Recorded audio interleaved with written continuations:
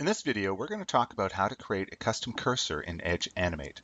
Now I have an example of what I'm talking about right here. I'm just going to hit Command Return for this file. A new browser will open, and you can see I have got a custom cursor. I've created a magnifying glass cursor. And not only that though, when I hover over top of this element here, this symbol, you can see my cursor actually enlarges. When I roll out, it goes back to that other small magnifying glass. Let's first of all take a look at how I created the magnifying glass graphic. I'm going to come over to Illustrator. And this is simply some vector shapes that utilize the 3D extrude effect. I can really see that if I come up to my view drop-down menu and select outline, you can see that this magnifying glass is actually just made up of several circles that have been extruded and then expanded so that I have something that looks like this. I then made an artboard that was exactly the size of my graphic. Here, I could probably make that a little bit tighter. And once I have an artboard around the graphic that I want to export, I come to the File drop-down menu, click Save for Web, and here I'm going to export it, but I do want to mention one thing. There is an upper limit to the custom cursor size that we can create. And in fact, that size is 125. So I'm going to make sure that I hit 125 here. This will be the maximum size for the large magnifying glass. And I'm going to save this as custom cursor large. You can see I've already got that in here, so I won't actually save that. And then I'm going to create another version of this that is roughly half the size. I'm going to say 50 pixels wide. And I'm going to save that as custom cursor small. You can see I've got these here. Custom underscore cursor large and custom underscore cursor small dot png. Once you've saved both of those files, I want you to come back to your Edge Animate program Let's create a new file. And in this new file, we're going to import those two graphics, custom cursor large and custom cursor small. And it places both of those on our stage. We don't need them on our stage, so I'm just going to delete those. What we really need is, though, to have those in our images folder within our library, as you can see here. The next thing I'm going to do is I'm going to create my rollover button, where the cursor becomes large when I roll over top of it. I'm just going to create a rectangle and I'm going to convert that to a symbol. And I'm just going to call that button. And I'm going to say OK. Now there's two things that we need to do here.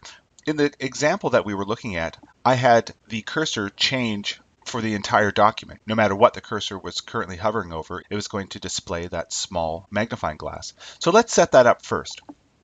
What I want to do is I want to come down to my layers panel down here, my timelines panel. And you can see that each one of these layers has a little brackets right beside it here.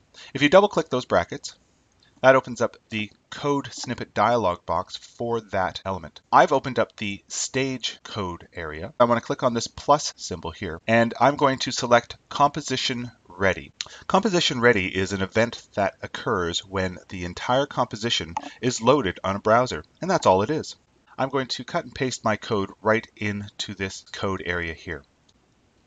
What this code snippet is doing is telling the entire document that there is a document element that covers our style. And inside that style, there is an element called cursor. And we are going to change that cursor to what? Well, here is our URL, and this is just a path directing our cursor to display this particular code. In fact, I'm going to call this underscore small. I'm just going to close that and preview this in my browser. Command return on my keyboard. And now you can see that wherever I place my cursor, that small magnifying glass is going to display. Let's come back to our document. I'd now like to have the cursor display the large magnifying glass when we roll over this symbol. So what I'm going to do here is I'm going to select the button in my timeline down here. And again, I'm going to click on the brackets for that particular layer. And I'm going to click on the plus button here and I'm going to say make this a mouse over event. So when someone hovers over top of this symbol, they are going to do something. And uh, what I want you to do is just paste in this code here. Now what this is saying is that for this particular timeline, find this symbol. Now this symbol currently is called button, but it would have to be named whatever symbol for which you want that cursor to change. And it's saying to that symbol, take this CSS function called cursor and change it to this image. And currently I've got this set to, to two, but I'm going to make that custom underscore cursor underscore large. And that's all I have to do. I'm going to close that and I'm going to open up my browser, Command Return on my keyboard.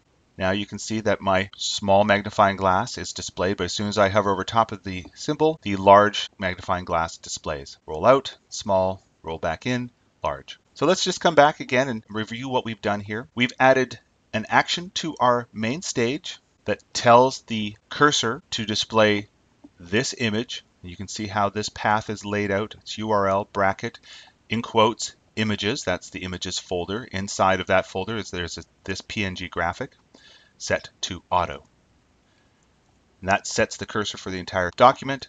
And then setting some code for the actual button calls for this button to display this image when there's a mouse over event.